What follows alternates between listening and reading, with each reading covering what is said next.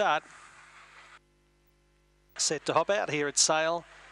And they're racing too. Slow out of boxes there was Shocked and also CJ Ace and Lightning Boxy has been specked and it's found the lead away fast. Dr. Summer Merchant Prince first corner now trouble. Out the back Shocked there got uh, a hammering and CJ Ace went back as well and Lightning Boxy took over. Merchant Prince to second. Back behind those runners. Just Love sneaking up on the inside. Dr. Summer working off the fence but Lightning Boxy might have pinched it. It's two in front and it's home.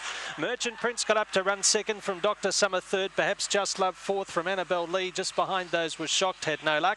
Wild uh, Angel was back in the field there too. Uh, towards the tail end of proceedings in 25 and 31.